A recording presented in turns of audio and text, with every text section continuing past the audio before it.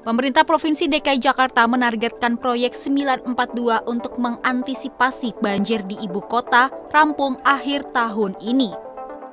Proyek 942 sendiri yakni membangun dan merehabilitasi 9 polder, 4 waduk, dan 2 sungai. Selain itu, masa jabatan Gubernur DKI Jakarta Anies Baswedan juga akan habis pada akhir tahun 2022.